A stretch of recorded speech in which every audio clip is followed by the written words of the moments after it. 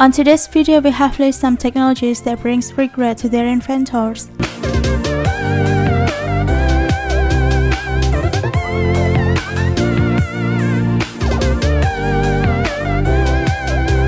Atom Bomb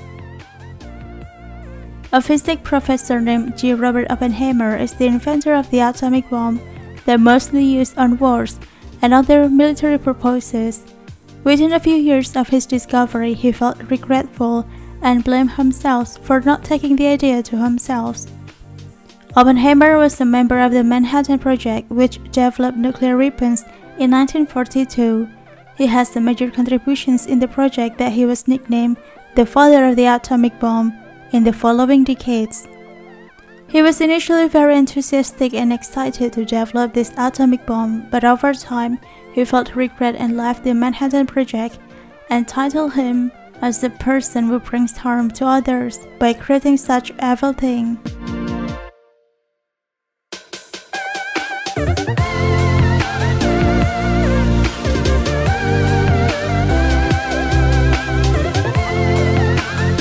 Airplane Airplanes are probably the best transportations for long-distance travel.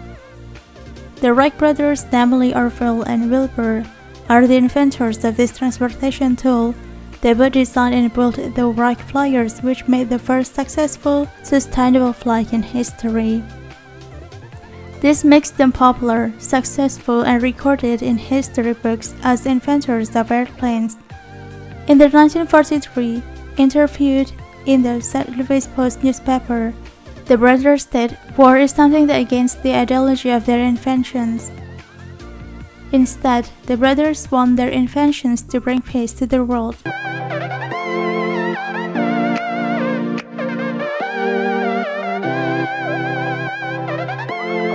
Facebook Mark Zuckerberg himself actually never regretted in creating Facebook but those who regret it are the people around Zuckerberg who have taken part in development of Facebook, including Sean Parker.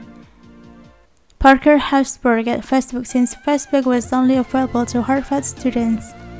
Zuckerberg also admitted that Parker was a vital figure in developing the Facebook into a global social network we know today. Parker also brought in many investors like Peter Thiel to fund the development of Facebook. But Parker argued in 2017 that Facebook was gaining popularity by tapping into human psychological fragility. This is because the like button on Facebook somehow brings that kind of validations that many people are eager to acquire. Parker himself claims that he is now a social media skeptic after seeing how social media impacts humanity.